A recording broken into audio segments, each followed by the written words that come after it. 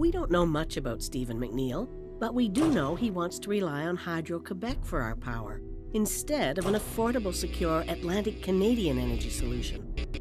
With a record like that, is Stephen McNeil right for you and your family?